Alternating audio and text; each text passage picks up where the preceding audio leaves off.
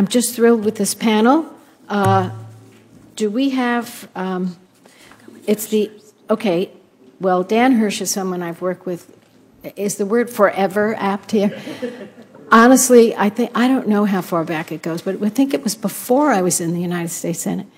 So we're talking decades of, and I just think he is tremendous. He's a lecturer, University of California, Santa Cruz, and that doesn't begin to describe his contribution to safety um, from toxics and the rest. I'm very happy you're here. I'm very grateful to you for sticking around because I know this has been a long wait. But as you could tell from the first panel, these issues are matters of life and death, and that's why we took the time we took. And I didn't want to rush your panel. I have a lot of time here, so we'll go back and forth. So, Mr. Hirsch, do you want to please begin? And we'll give you six minutes. Go ahead. And make sure you turn on your microphone, speak into it. I have a written statement which I. We'll put in the record. Thank you. Uh, Chairman Boxer, thank you so much for the invitation to appear here today. Uh, the Japanese parliamentary investigation into the Fukushima tragedy concluded that it was caused by a too cozy relationship between the reactor operator and its regulator that allowed the nuclear plant to be built to withstand only an earthquake and tsunami far smaller than actually occurred. These problems plague the American nuclear regulatory system as well. My testimony will focus on an examination of one case study, Diablo Canyon, that suggests the Fukushima lessons have not been learned here. This is particularly important in light of the extraordinary new seismic discoveries near the site and the inadequate response to them by the NRC. Unless the underlying dysfunctional nature of nuclear regulation in this country rapidly undergoes sweeping reform, a Fukushima type disaster or worse can occur here, perhaps on the California coast. Diablo was designed and permitted based on the claim that there were no active earthquake faults within 30 kilometers of the site. We now know, however, that there are at least four large active faults nearby, all capable of more ground motion than the plant was originally designed for. Each time there was a new belated seismic discovery at Diablo, however, the Commission gave PG&E a pass. Rules were relaxed, safety margins reduced, public hearings denied. The most recent discoveries of increased seismic risk have met the same fate. At the construction permit hearings in 1970, the intervener asked for a few hours to present evidence of nearby faults. PG&E and the commission staff objected, and the NRC refused to permit the matter to be heard. One board member strenuously... Say that one more time, that last in, point. In 1970, interveners wanted a few hours to be able to present evidence of undiscovered faults. Both PG&E and the commission staff objected. The licensing board refused to permit the testimony. Tom Pigford, a member of the committee of the board, dissented, saying, shouldn't we find out before we pour concrete if there are earthquake faults? Thank you. He lost, and they went ahead and poured the concrete, and almost immediately it was revealed that there was an offshore fault, the Hosgri fault, much larger than the plant was designed for. But instead of withdrawing the permit or requiring a full upgrade to deal with the new fault, NRC waived the normal requirements of the license and granted an exception for the Hosgri. Only minimal, minimal retrofits were required. But it didn't end then. Within days of granting the operating license, NRC, egg on his face, had to rescind it because it turned out the PG&E had used the wrong blueprints for putting in the retrofits, mirror image blueprints, placing the uh, retrofits in the wrong places. They had to do it all over again, leading to a cost moving from $320 million to over $5 billion. The cost overrun largely passed on to the ratepayer. But we were sure, don't worry, we're sure there can't be any more faults out there. And then, a few years later, the second and the third nearby faults were discovered, the Los Osos and San Luis Bay faults. Again, we were told, don't worry, there can't be any more surprises. And then in 2008, the U.S. Geologic Survey found the fourth fault that wasn't supposed to exist, the shoreline fault, coming within 600 meters of the plant. PG&E and NRC said, don't worry, the three recently identified faults were well within the license limits. But then something absolutely remarkable happened. Dr. Michael Peck, the uh, senior resident inspector for NRC at Diablo actually went and checked the license. And what he discovered was that all three of those faults, according to PG&E itself, had ground motions greater than the plant license allowed. He said that it should be shut down until the problem was fixed. So PG&E proposed instead of fixing the plant to amend the license to remove the provisions they were violating. But even that didn't work because they couldn't meet the criteria for a license amendment, so they withdrew it. And that should have been the end of the matter. The plant should have been shut down until it was retrofitted. But instead, NRC allowed PG&E to, in essence, amend the license without amending the license, all to avoid a public hearing. And then Peck took the gutsy step of filing the dissenting professional opinion, which this September, as expected, the NRC rejected. But here's where the story gets most troubling, with developments essentially not reported to the public until today. On the very same day NRC issued to the news media its denial of Dr. Peck's dissent, PG&E released an 1,800-page study required by the state um, of the uh, seismic situation near the facility.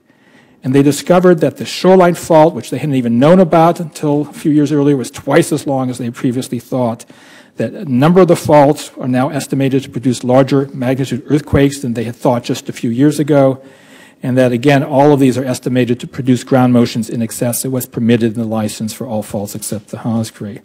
It's deja vu all over again, repeat of the problem we've seen year after year after year. And unless we fix these problems, of regulated entities pressing for weakening of safety requirements and of regulators viewing themselves more as allies of the industry rather than protectors of public safety, we will not have learned the lessons of Fukushima. And a Fukushima type disaster is just waiting to happen here. All it takes, just as at Fukushima, is an earthquake larger than the plant was designed to withstand. It could happen tomorrow. Thank you for your testimony. It's quite riveting and you tell it in the most straightforward way. And that's what I know about you and what I've always admired. You just give us the facts and you let us understand the drama just by giving us the facts. And this is a dramatic this is dramatic testimony and I'm I'm very grateful. Can you please confirm to your knowledge because you may not know this, but I'm asking you can you confirm that NRC has thus far always accepted estimates of how strong an earthquake might occur at Diablo Canyon that use questionable science to minimize the risk? Mr. Hirsch. That's been the pattern over and over again.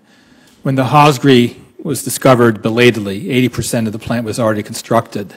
And so rather than require them to upgrade it to the shaking that you could occur from that, could get from that earthquake, they allowed them to use a bunch of fudge factors, uh-huh. um, four different fudge factors, so that they could, in the end, do almost no retrofitting. Um, Commissioners Gilinsky and Bradford on the commission at the time dissented vigorously and said that this was carving out the essential safety margins that were needed. What's intriguing is that after the Hosgri was done and they created an exception for it, they're now using even less protective assumptions now that these new faults have been discovered. And that's why I was struck by the difference between the first panel and this panel. I wasn't even sure which planet I was on. I was getting all these assurances. Well, welcome to my world, Dan. yeah. Um, all these assurances that we're on top of it. But what I see by looking at the historic record is that the NRC has been wrong every single time on Diablo and never seems to get embarrassed. Every time they claim there's no additional fault, there's a new one. Every time there's a new fault, they say it can't produce more shaking, and then it turns out that it does. And what I'm most worried about is that um, you can't make the earthquake go away by changing the input assumptions on a piece of paper. Nature isn't going to cooperate with the fiction. That's what happened at Fukushima. The regulator allowed them to build the reactor for a fictional earthquake and tsunami, right. much less than could occur. And that's what's happening at Diablo and at many other plants around the country. Right. You know, I would say, when you say you thought you're on another planet, if you took this question outside of this room and we just went up to a person on the street in any town near a nuclear power plant, not near a nuclear power plant. And you said, do you think we should be building nuclear power plant near earthquake faults? They would start laughing and say, You mean to say you guys allow that? I mean, that is the biggest no brainer known to mankind. And Senator Boxer, look at the record in California for PG&E alone. They built a plant at Humboldt Bay, which now has had to be shut down because of the discovery of an earthquake fault that they had claimed wasn't active. Mm-hmm. They wanted to build one at Bodega Head, and um, they actually dug the foundation for it, a huge hole called Hole in the Head by the locals. And someone, a seismologist, crawled into it on a weekend and found a fault in the hole right where the reactor was going to go. So that's why there's no reactor at um, Bodega Head. So then they turned their attention down to Diablo. Right. Um, you just can't manipulate like that. This is shocking. This is, in my view, unethical. This is dangerous. And I just hope that what comes out of this today via the media, who, who I hope will hear this point, is that we have new information about these earthquake faults. Mm-hmm. And an inspector came in from the NRC and said PG&E is not operating Diablo Canyon in compliance with its license re- requirements because of these faults. And he said the reactor should be shut down until PG&E comes back into compliance. So I want to ask the three of you a yes or a no, and hope you'll be able to do that. Do you think that NRDC's, I'm sorry, NRC's decision to allow PG&E to study its seismic vulnerabilities for as many as four more years before any safety upgrades are required can substitute for NRC's responsibility to ensure that licensees comply with the terms of their operating license. In other words, it's kind of a long question. They say you've got four more years before you, you have to make any upgrades, as opposed to ensuring that they make them sooner. Would you say now or four years? Now. The earthquake may not wait four years. Good point. We are very familiar with paralysis by analysis. And the threat now is unequivocally so great as a result of these uh, new studies that action is required immediately. Sir. Licensees should be continued, should allowed to be continued to operate because there are measures in place to deal with beyond design basis external hazards like seismic or flooding or rain or hurricanes. That was the response to Fukushima that the industry, as ordered by the NRC in 2012, implemented. Do you agree with that? May I respond to that? Yes, please. I sat through the licensing hearings for Diablo many years ago, where the issue of the functioning of the emergency plan in an earthquake was raised. The intervener said that the freeway, the only way in and out is Highway 1 and the um, uh, 101 and the um, uh, overpasses could easily come down in an earthquake. And you have to have a functioning emergency plan according to the law. And the NRC ruled, and I was stunned. I've never quite seen something um, with so much logic that's been twisted into such a pretzel. The NRC ruled that they didn't need to have an, earth, an emergency plan that would function after an earthquake because it was not credible, their term, that there would ever be an earthquake and a nuclear accident at Diablo simultaneously. Well, no one was ever talking about them being two separate events. We're talking about an earthquake that causes an accident and then people can't get out. And so to say that there are good systems for dealing with this if there's a quote unquote beyond design basis event, which means something occurs that they didn't design for, um, really begs the question. That is the whole problem. Fukushima wasn't designed for the earthquake that could occur. Mr. Hirsch, your written testimony describes numerous instances in which the NRC used irregular licensing and other processes to find a way to allow Diablo to be built and operated. Could you once again just summarize that? In other words, there's been a parade of these things over the years, and I know, and you've, you've done it, but if you could summarize all the if you will, you know, errors in judgment the NRC has made leading up to this point? One of the best ways of telling whether the five commissioners who testified here earlier today really have it under control is to empirically look at the track record of how well the NRC has done. So let's look at that record for, uh, for Diablo. They built it claiming there were no earthquake faults that were active within 30 kilometers. They said you only have to design the facility for a ground motion of 0.4 G. Then the Hosgri was discovered.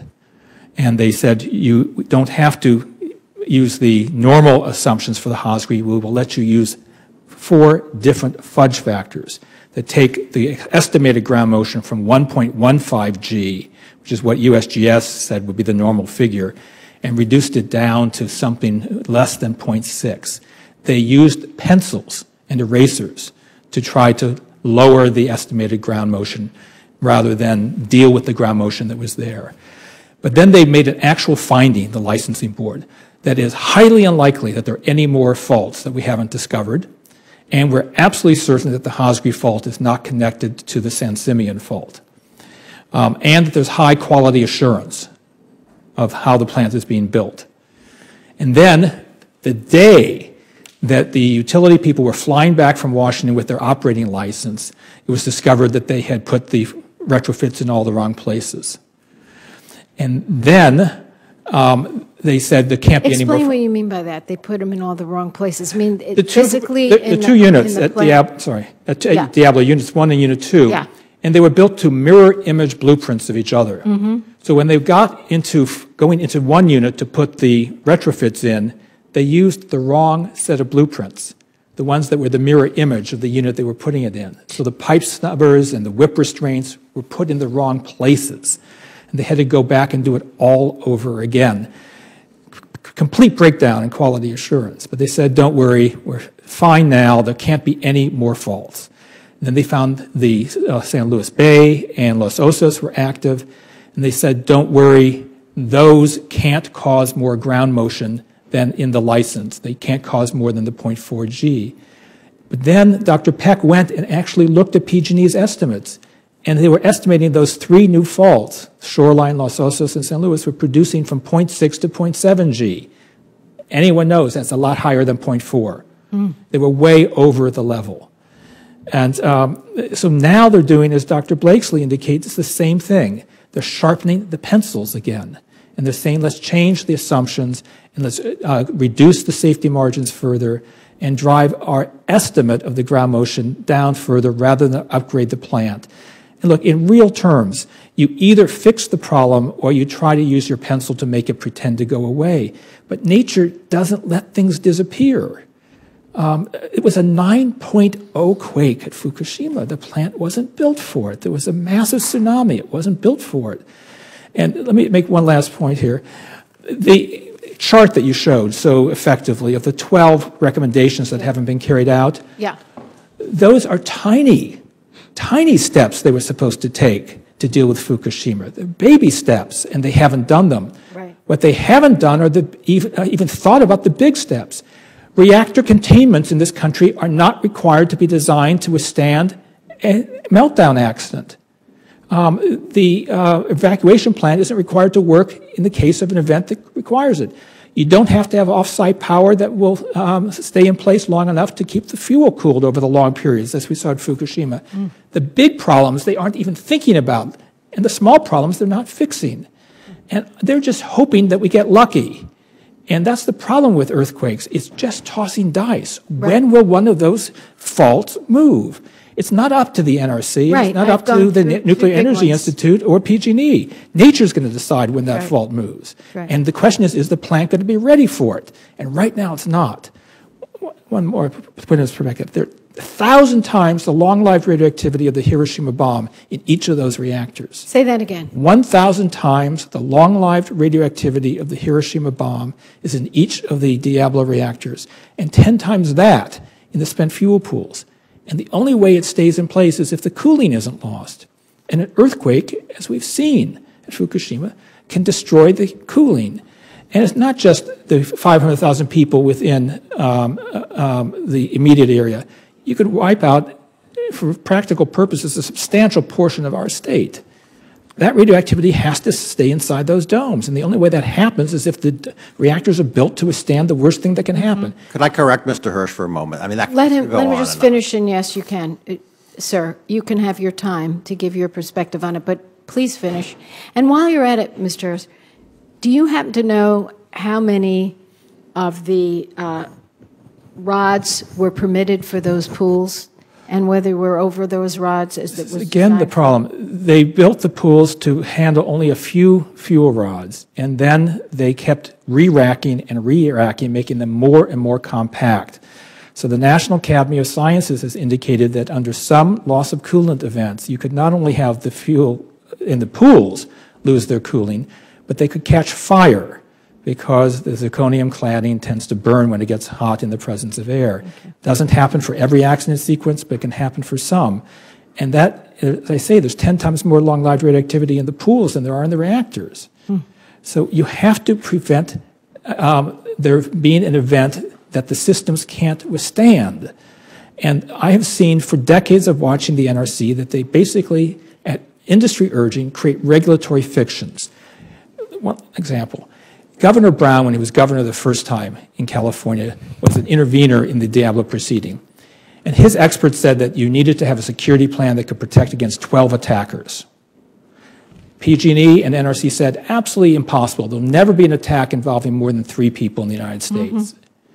9/11 was 19.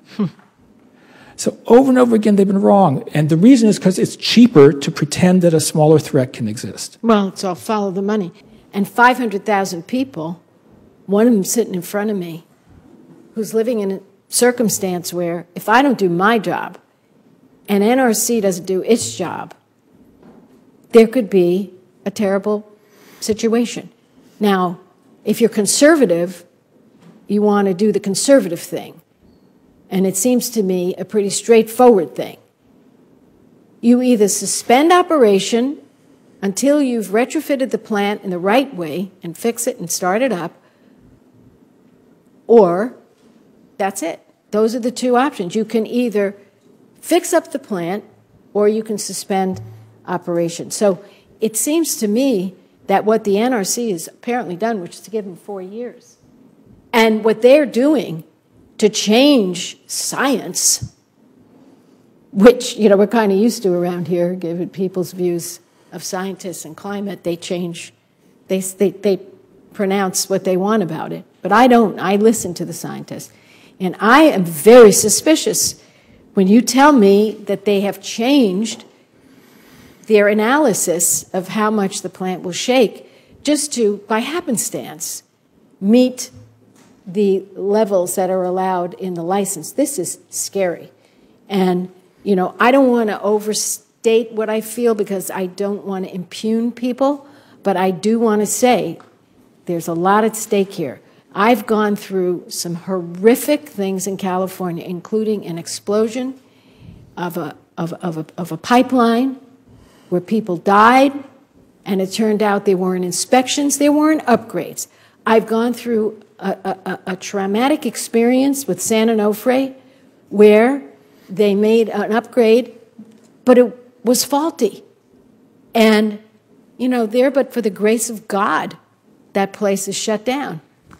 And, you know, it's clear to me what the options are. I just want to say to all three of you, you've been terrific, all of you. I think the fact that there was a little give and take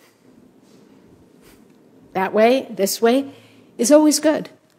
And I think that what for me is the critical piece here is the safety of, of that little daughter. And yeah, that's it. That's why I'm here. I'm not here for any other reason. There's no other reason I'm here. And um, I will continue to push hard on this. But I also want to say to the two of my constituents how important your work is back home, what you did to get the information about the new earthquake, and, and Governor Schwarzenegger then signing that. Congratulations. What if we didn't know about it? I mean, you can only be as good as the information that you have.